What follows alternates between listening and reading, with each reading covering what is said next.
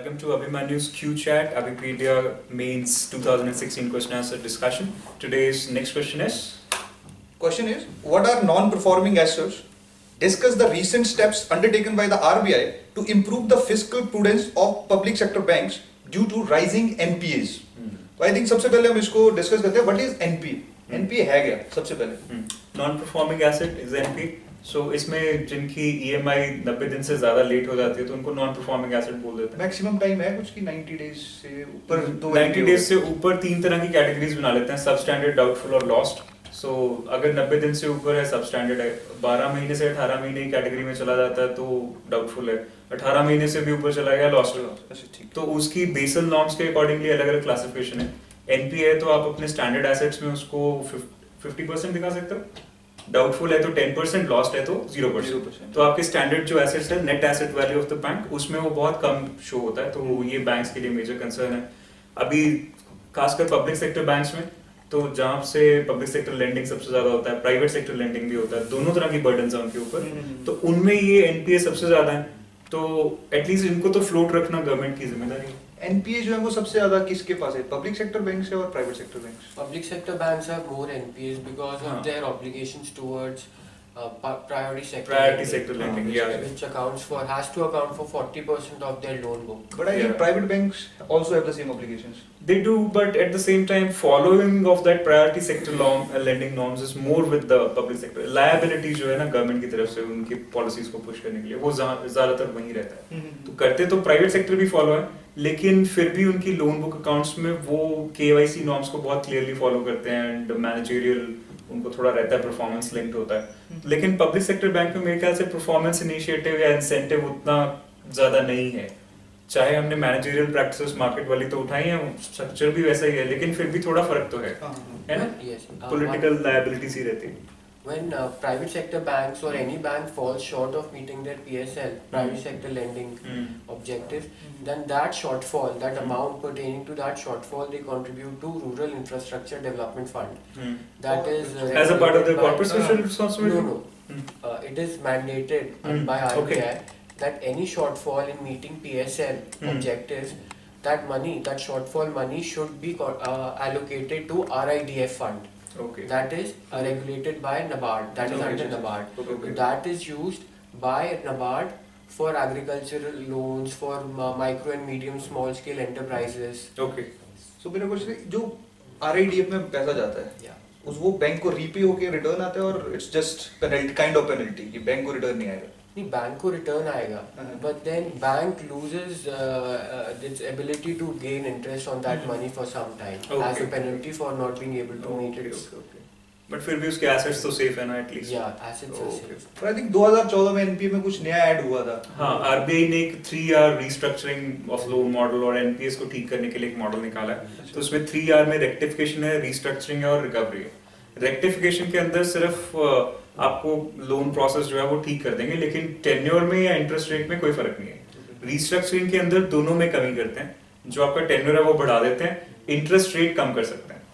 ठीक है? तो रिकवरी के लिए एक हेल्पफुल एटीट्यूड है you know kind of benevolent approach then next is recovery where SARFAESI act is used. SARFAESI के अंदर securitisation and reconstruction of assets होता है है ना?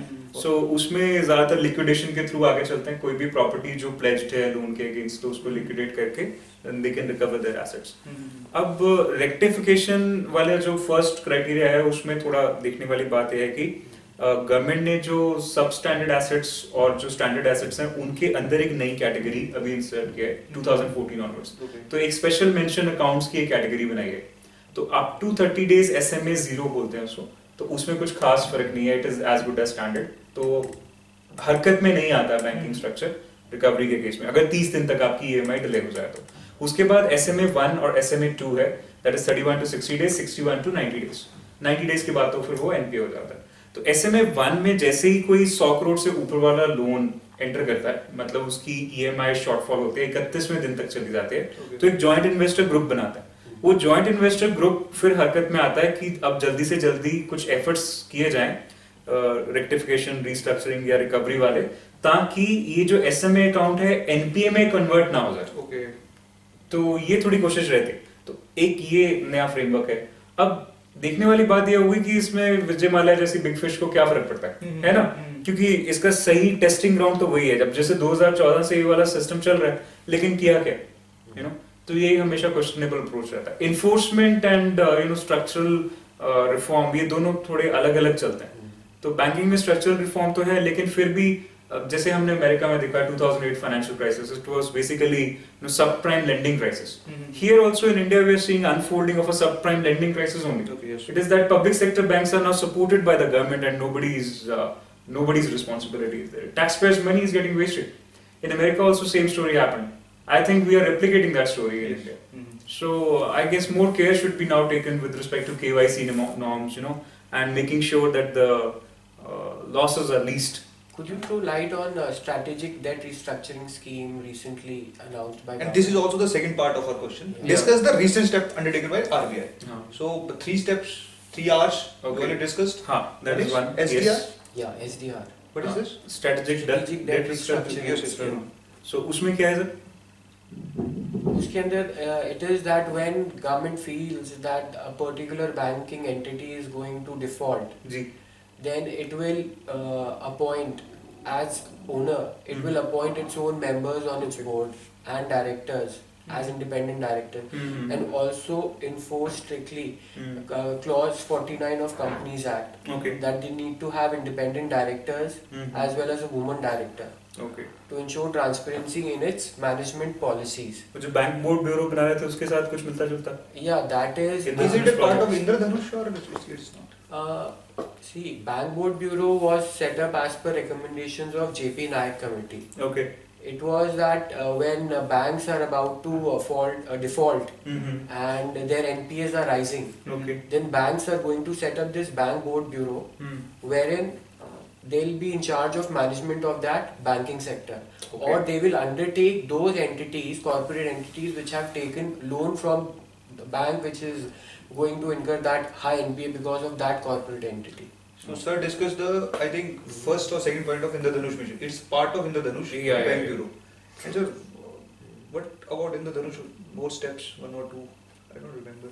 Sir Indradhanush के अंदर सात बेसिक स्टेप्स हैं एक तो रिस्ट्रक्चरिंग ऑफ़ नॉर्म्स हो गया बैंक बोर्ड ब्यूरो हो गया अपॉइंटमेंट ऑफ़ बैंक एम्प्लॉयज़ हो गया तो इस तरह के पाँच सात एस्पेक्ट्स हैं इंद्रधनुष के अंदर तो उन सब का ध्यान रखा गया पहले का वो मेडिसिन वाली वैक्सीनेशन में भी इंद्रधनुष होता था लेकिन हाँ हाँ yes yes हाँ, वो. So, पर हाँ यहाँ पे बैंक की वैक्सीनेशन होने वाली है। सो so, एक तरह से आरबीआई तो काफ़ी अपनी तरफ़ से ज़ोर लगा रहा है लेकिन बैंकों को भी यहाँ पे कोऑपरेटिव रोल प्ले करना पड़ेगा। फिर ही जाके मुझे लगता है कि एनपीएस को कंट्रोल मिला। तो इसका मतलब सब प्राइम लेंडिंग और you know banking policy regulation they have to come hand in hand या Do- we also need to discuss the business cycle trade cycles which result in NPAs because it is the performance of corporate sector Hmm. which gets reflected in NPAs. Twin balance sheet problem जो Hmm. Yeah. Yes, yes, economic yes. Survey में Yeah. भी इस बार आई थी। When ji. when companies face uh, deteriorating slowdown in their uh, sales figures, Hmm. that reflects their inability to uh, co- convert that debt or the cash conversion cycle that Yeah. gets delayed because of which they are unable to repay back the repay the loans they had taken at Okay, from okay. banks. Okay. So it is the exp- uh, global scenario also Hmm. as well as the domestic scenario. Hmm. Aggregate demand when falls uh, short of the supply, there is excess supply. Okay. That is when the banks incur a lo- high rising NPAs. Okay. I guess that should do. Yes, yes. Yeah. Thank you. Thank you, everyone.